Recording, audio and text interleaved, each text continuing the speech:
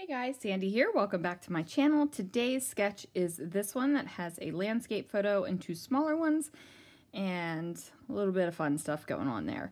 Now I am going to be using my black and white How to Kill a Kit with Style because I'm just loving the black and white kit this month and I've decided that green is going to be my pop of color.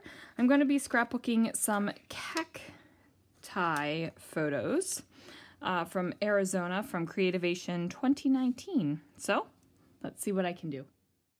All right, you guys, I just really love this green on green paper. And it's not because it's some sort of epic, beautiful um, pattern or anything like that. I just really like this color green.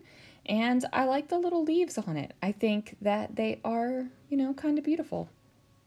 Now I am leaving the leaves probably what would be considered upside down uh, because the stems are coming from the top.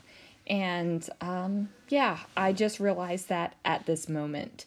So I'm not going to change it, obviously, and I'm just going to deal with it and just enjoy the pretty green of the paper.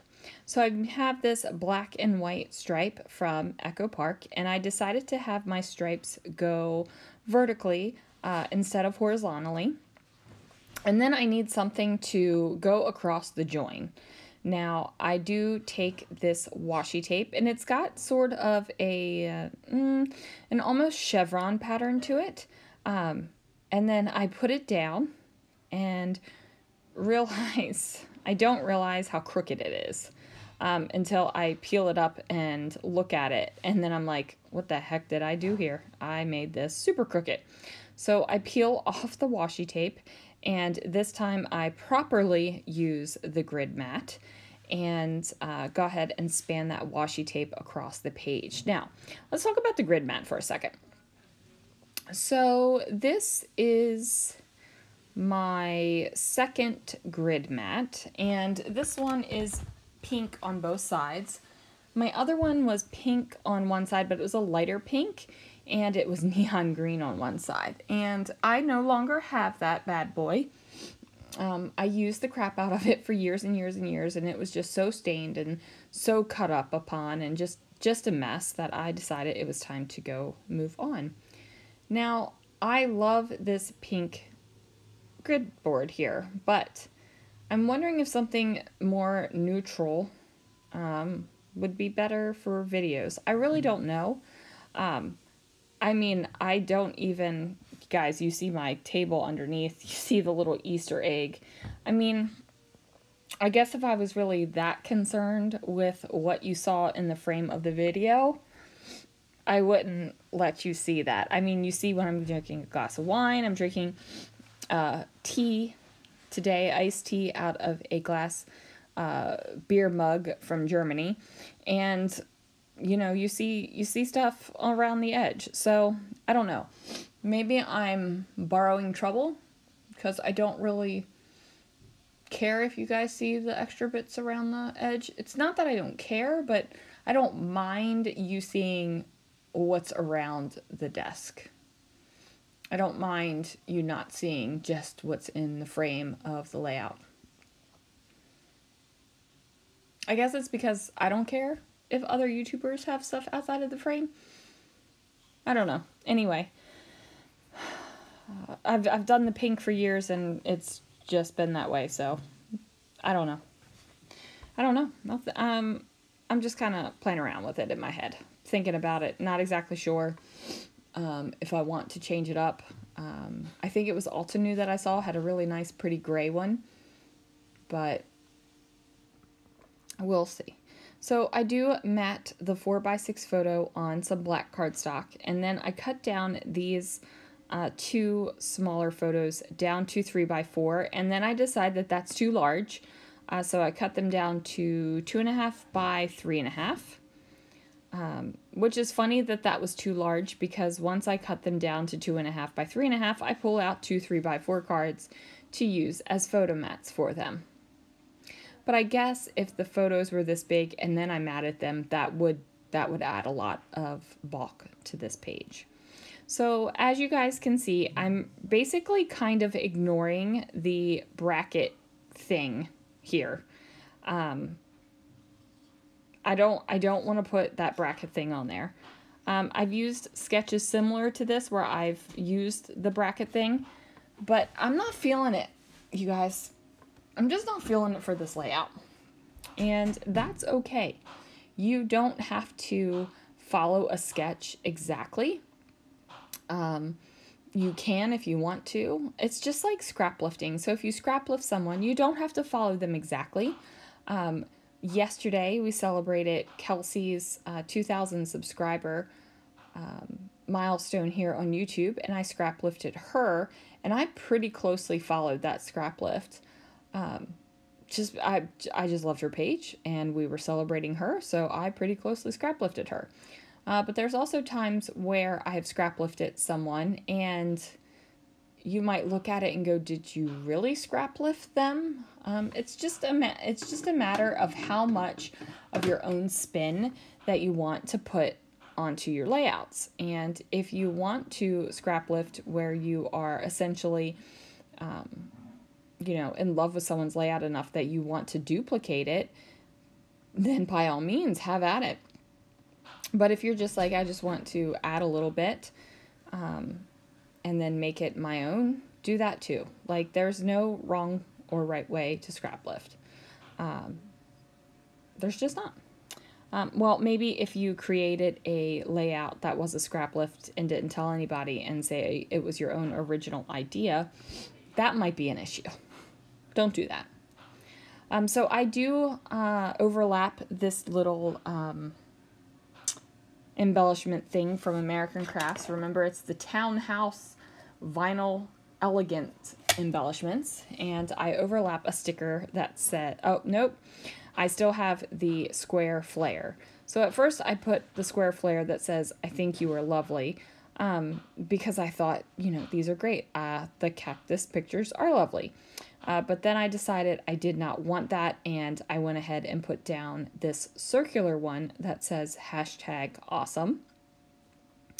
And I was thinking about adding the little, um, the second little circle over there as well, um, but I decided not to do that and put uh, taking the scenic route uh, sticker and placing it on there. Now that's this is this is kind of funny because um, we Christina took Kari and I to the I can't remember what it's called some sort of botanical garden and we got there and it was expensive to get in and we were like do we really want to pay the money just to go look at some cactus?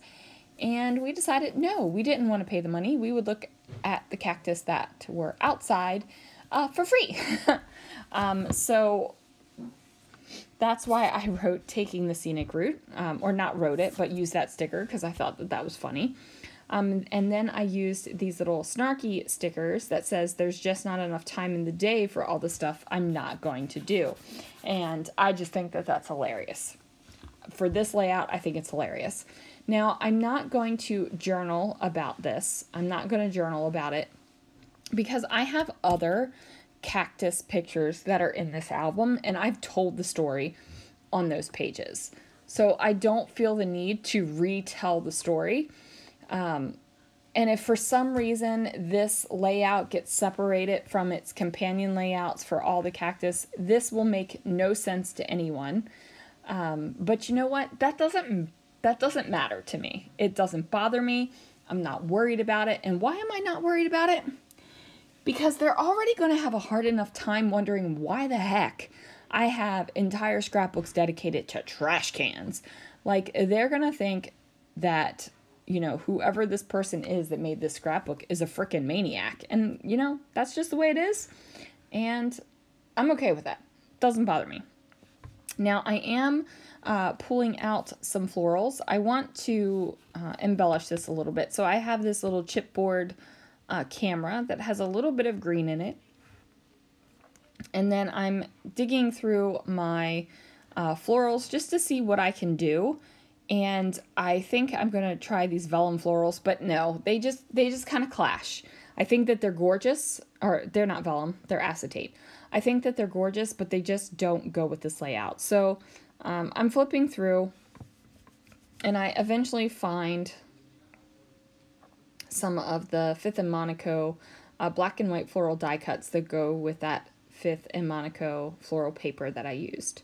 Um, because you guys, I didn't want the bracket, but I still needed the weight of whatever was there.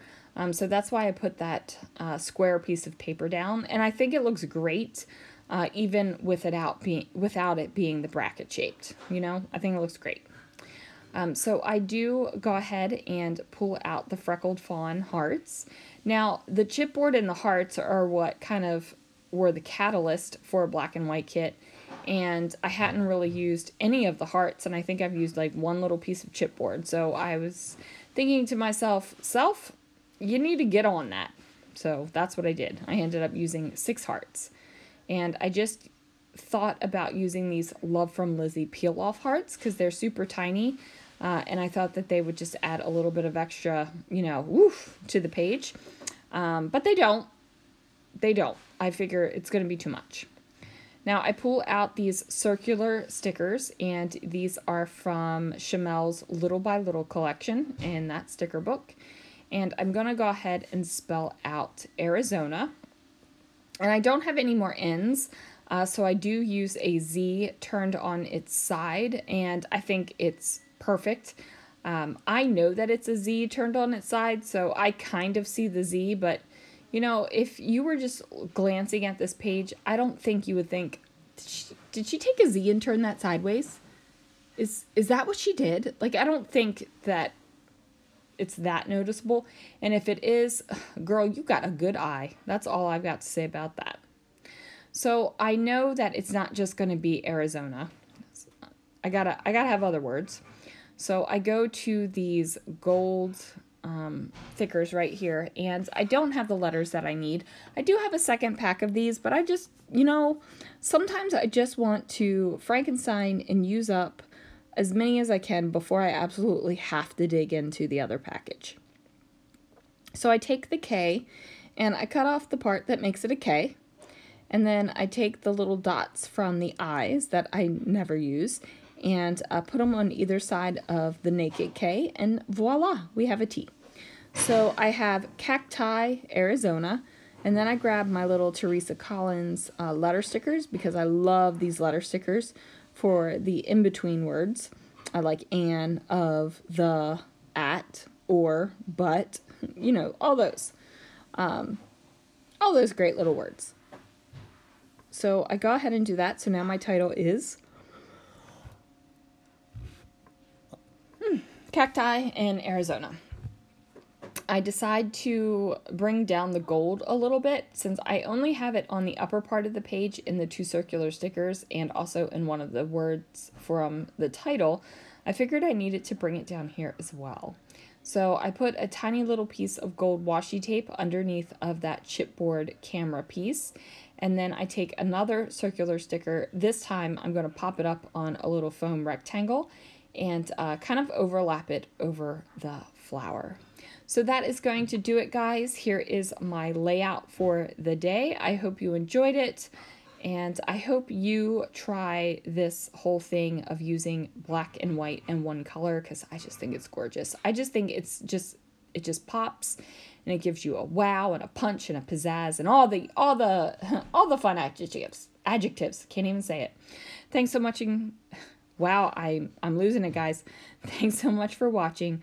I will see you again real soon for another video.